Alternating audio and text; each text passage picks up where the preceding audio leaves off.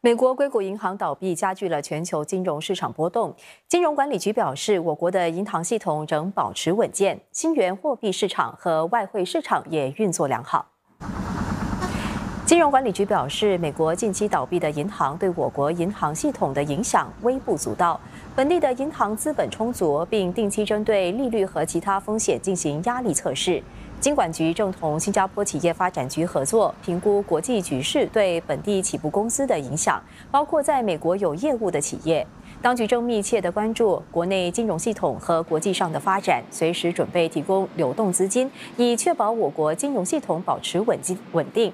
金融市场继续有序的运行。